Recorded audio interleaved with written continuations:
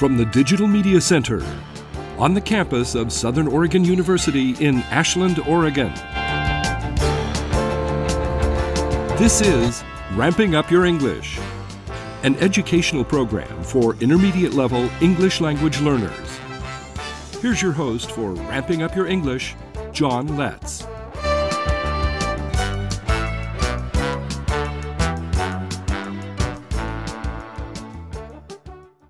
Welcome to Ramping Up Your English, winner of the Southern Oregon Television Award for 2020 for the Best Education Show. I'm producer and host John Letts. Ramping Up Your English is for intermediate level English language learners. If you've already passed the beginning stages of learning English and you want to reach higher levels of proficiency, this program is designed to get you to that goal. We take a content based approach to helping you reach higher levels of English proficiency.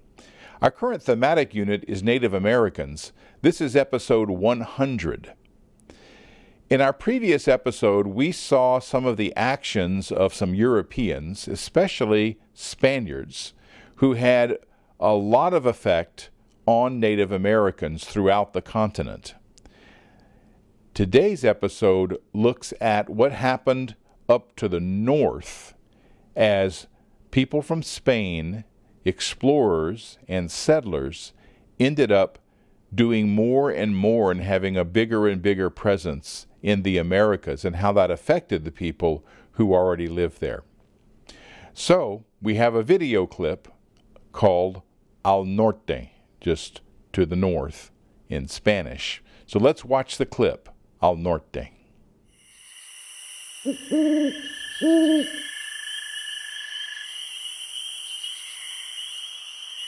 Have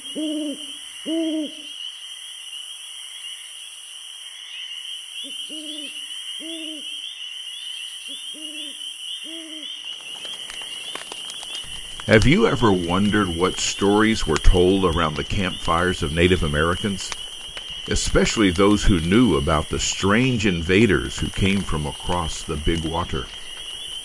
Tales of their cruel and deceitful interaction must have held listeners in rapt attention. For those close to the affected villages, it must have raised terror that they would be next. The very survivor who reached them would likely be carrying the same disease that had wiped out his own village. Those further away may have thought the terrible stories some kind of frightening fiction, for the cruel, savage, and uncivilized behavior would seem unlikely, illogical, uncalled for. Yet, how could anyone make this up? The warriors warming themselves would know about killing, slavery, and even torture. But this total warfare, this extermination of whole villages, and destruction of culture and religion, this would seem alien even to the most jaded warrior. Those in the American Southwest would hear stories of the four benevolent strangers who wandered from village to village to heal the afflicted with their cross like gestures. They were called children of the sun. Perhaps some would relate how they became part of the crowd that left home to follow them to the next village. How they must have been powerful Kachinas, and such strange ones with pale skin and skin as black as charcoal. The deeds of the Spaniards would surely have been shared in some areas, a requiem of warning, of foreboding. Did flint knappers set to work making more weapons? Were the few survivors of this devastation taken into other tribes? Were alliances made for mutual defense? There's so much we don't know from the point of view of Native Americans. We do know the stories told by Spaniards.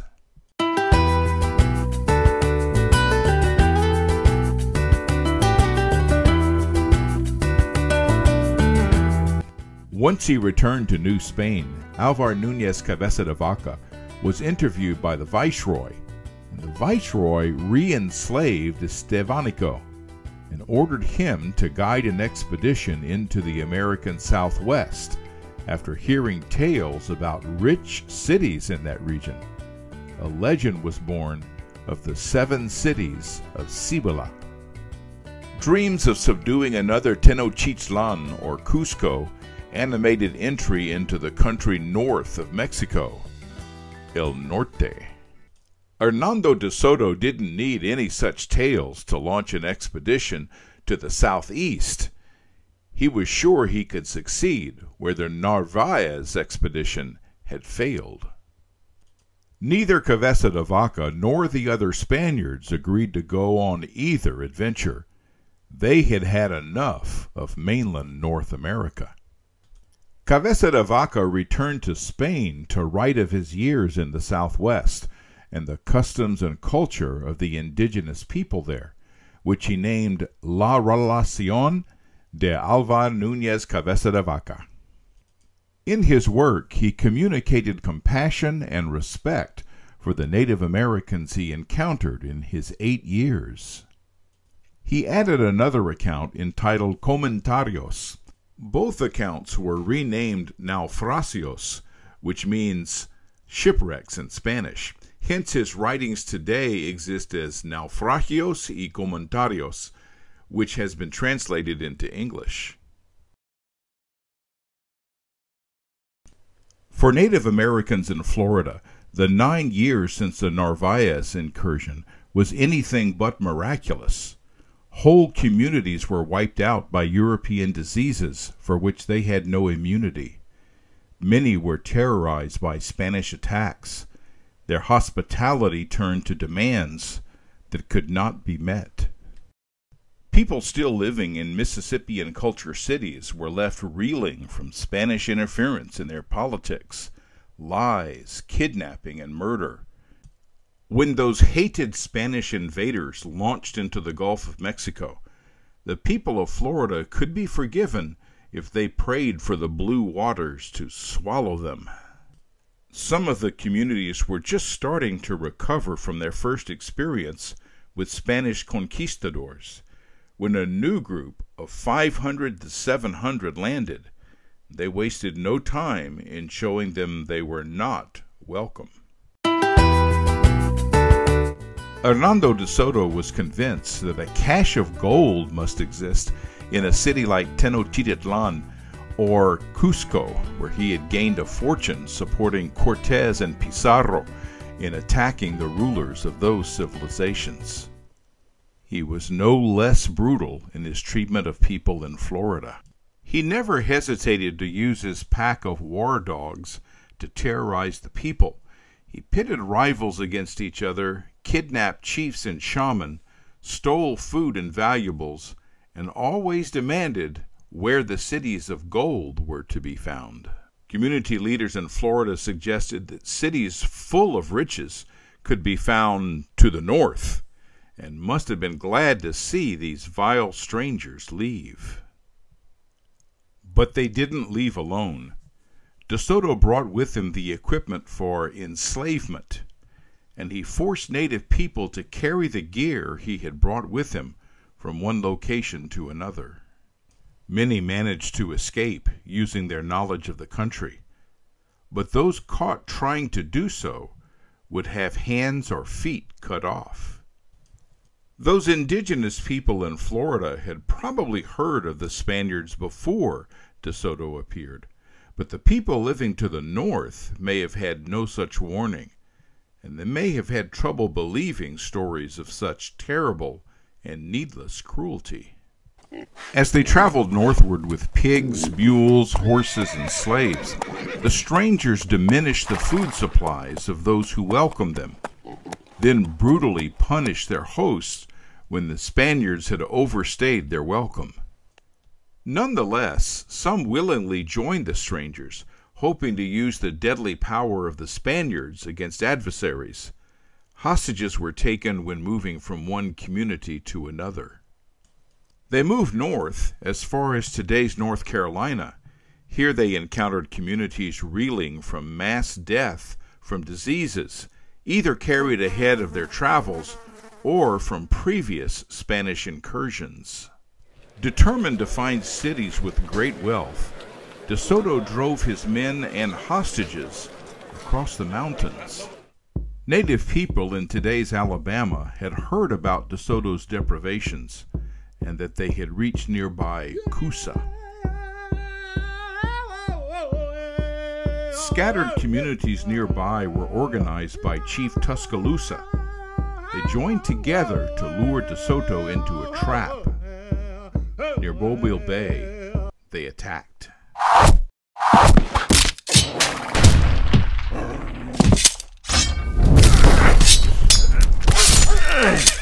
DeSoto himself was wounded, and his people lost most of their supplies, but at a huge cost to the people of the area. Thousands of warriors and resistors were killed. Their resistance was met with brutality. DeSoto ordered his men to burn the village after killing all the Native Americans they could reach. Hoping to outrun any pursuers, DeSoto turned northwest, left to bear the winter of 1540 and 41 with few provisions. DeSoto enlisted indigenous guides who took him to the edge of the Mississippi River. This great river was a unifying element to numerous indigenous communities. To DeSoto, it was an obstacle. This painting by William H. Powell shows native people cowering before these strong Spanish explorers which belies the account of the historical writer Garcilaso de la Vega. By now, De Soto's party were exhausted and destitute. De Soto spent the next two years scouring present day Arkansas for gold, but he found none. The strangers endured another brutal winter, wherein interpreter Juan Ortiz died. By May of 1540, Hernando de Soto was also dead. De Soto's body was weighed down with sand and dumped in the river at night. Luis de Moscoso de Alvarado took command and led the survivors to Texas, then headed back to the Mississippi River. When a young native boy led the party astray, Moscoso fed him to the dogs. One of the last remnants of the Mississippian culture were the cities of the Caddoan people. They hosted the dying party of strangers during the 1542 year. Natives had shown them how to use native plants burned to ashes to replenish the salt in their bodies.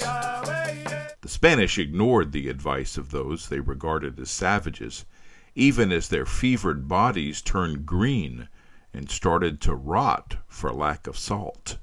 Back along the Mississippi River between Arkansas and Louisiana, Moscoso decided they had had enough of El Norte and had the survivors build boats to take the river south to New Spain. The people along the Mississippi had also had enough of the cruel, arrogant invaders. They met them with war canoes as they floated south with the strong current, reducing their number even further. When survivors returned to New Spain, they attacked each other, reducing the survivors to an even smaller group. Native Americans who had encountered the De Soto expedition were left with disaster. Between diseases and attacks, up to 90% of some communities were killed. Survivors were left without family, community, or friends. They were left with no more faith in their religions. Little was left for them but to seek death. I am a poor, wayfaring stranger on a journey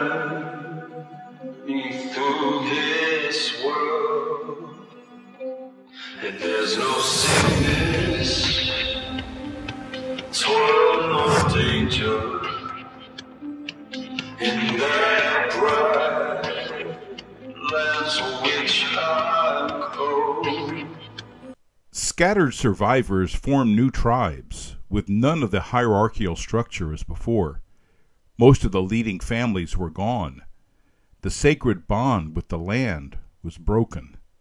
Farming communities became hunting societies. Big cities never recovered. They were replaced by small, scattered towns. Leadership by merit replaced hereditary chiefdom.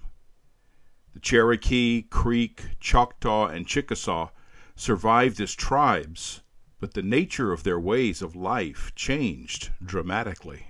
When future expeditions came to the southeast, they were struck by these changes and the small populations they encountered, the legacy of De Soto.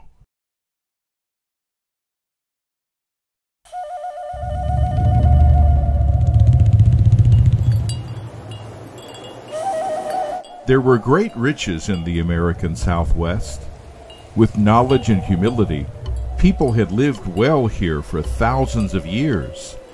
The mountains and rivers welcomed and nurtured those who called this place home.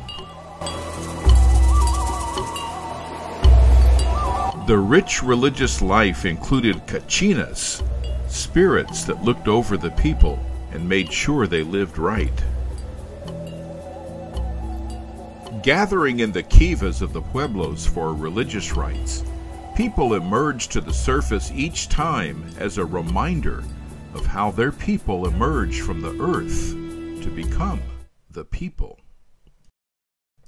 The Southwest was rich in diversity, a cacophony of distinct languages, cultures, and communities. Some were quite insular, having little to do with neighboring pueblos while they were bound together by trade and sometimes with mere tolerance.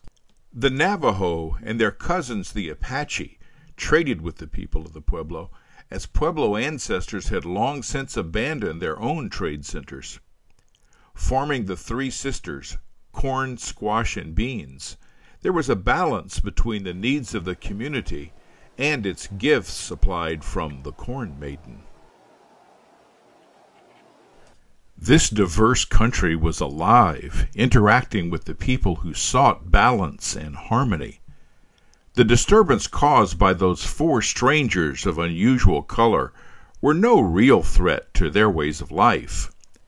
But a new disturbance was coming. In Mexico City, Viceroy Mendoza had heard from the survivors of the Narvaez expedition about a mystical place in the southwest where there were cities of gold, he wanted a piece of that. Mendoza invested in an expedition guided by Cabeza de Vaca survivor Estevanico into that region in search for the seven cities of Cibola.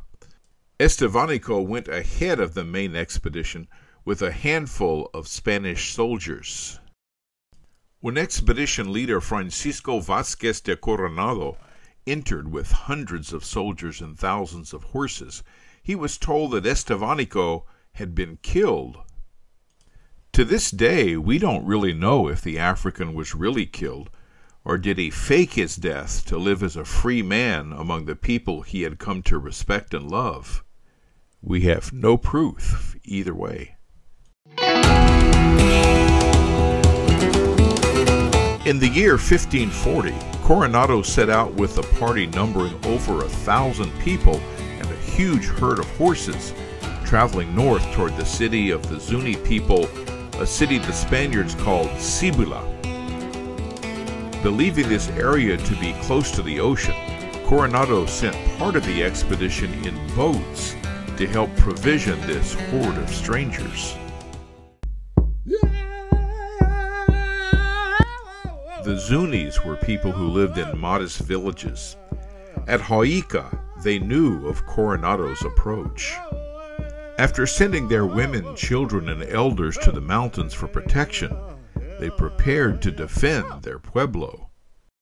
Spanish soldiers mounted on horseback stopped short of the village. The leader spoke a language that was unknown to them, but his gestures indicated they were hungry and they demanded food. They also wanted to enter the pueblo. The Zunis communicated that the strangers would not be allowed in the pueblo, and they had no food to spare. At this, the strangers attacked. Zuni warriors protected their town. Hundreds of Zuni warriors were killed. Coronado and his starving men entered the village. It was now deserted. They found corn and turkeys. They ate. The Hopi had lived in this harsh land for hundreds of years before seeing Europeans. They had a deep religious tradition, a tight community, and distinctive ways of arranging the hair of girls not yet married. In one pueblo, Captain Don Garcia de Cardenas appeared with Spanish soldiers demanding food. The people there didn't know that Cardenas had orders from Coronado to show no mercy to make other pueblos fear the Spaniards. Cardenas complied, wiping out the whole village. Cardenas traveled to other Hopi villages as runners fanned out to warn neighbors of the danger. Cardenas demanded that he be led to the river, so a guide brought him within sight of the Colorado River.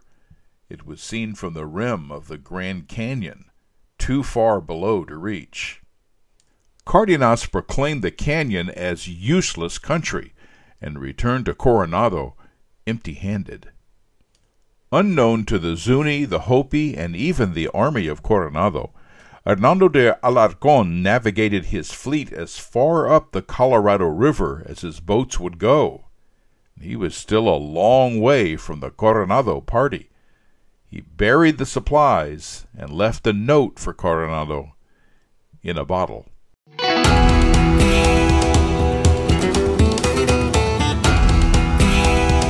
Coronado gave up on resupply and began following the Rio Grande River to Pueblo villages at Pecos. The people there abandoned the village, so Coronado set up his winter quarters there.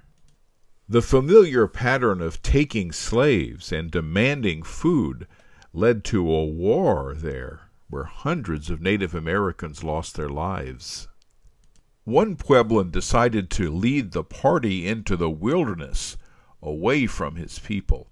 He told Coronado about a city named Quivira, located far to the east. Coronado saw a chance to redeem the excursion and enrich himself he fell for it. On the southern plains, they met Apache hunters and saw huge herds of buffalo. The Apache hunters pointed them in the direction of Quivira. The guide they called Turk had hoped to get them hopelessly lost, but now he had to go along to Kansas. When Coronado reached Quivira, he found friendly Americans, but no gold. These ancestors of the Wichita lived good but simple lives in grass huts near the Arkansas River. And as for Turk, the guide who led the Spaniards away from Pueblo country, Coronado had him garroted, strangled. Coronado returned empty handed to Pueblo country in New Mexico. He was badly hurt in a fall during a horse race he decided he had had enough of El Norte, and he returned to New Spain. He would not return home weighed down with gold, and he was blind to the true riches of the area. Native Americans along his route would try to recover from his presence. Hundreds were killed in battles. Untold numbers died of hunger and exposure because of demands on their fragile economy shaman would begin the process of recovering in the absence of Coronado. Thirty nine years later, Spaniards would return again. Coronado returned to face charges of war crimes. He lost his land holdings to creditors. Cardenas was convicted of war crimes by the Council of Indies in Spain.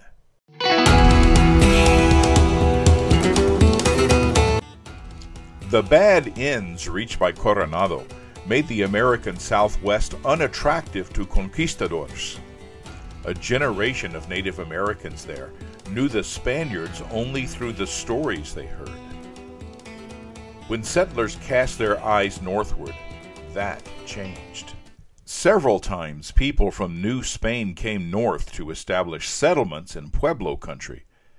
This always ended badly, sometimes for Native Americans, sometimes for settlers, and often for both. The worst came with the Spaniard named Don Juan de Oñate. He came north with over a thousand people and herds of horses and other animals, as well as wagons of supplies. He came to stay. Oñate attacked the village of Acoma, killing over 900 villagers, many of them after they surrendered. Oñate torched the village, cut off hands and feet of the men, and sent the women and children south into slavery.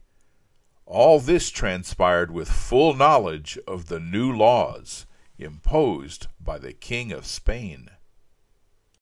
We'll learn about the new laws in our next episode.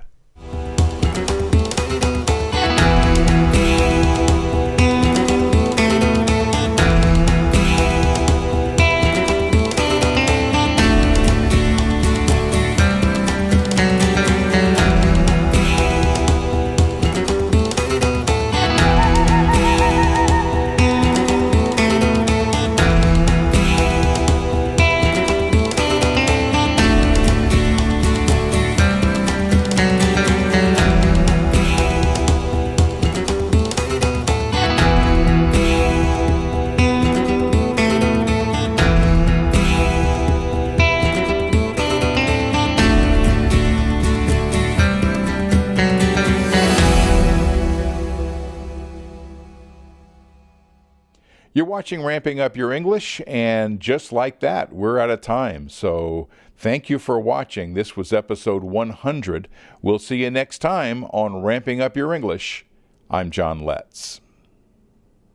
You've been watching Ramping Up Your English, a support program for intermediate level English language learners. Learn more. Visit our website at letscreate.org. You can also watch or download today's program at archive.org slash details slash rogue TV. Join us next time on RVTV Voices for Ramping Up Your English.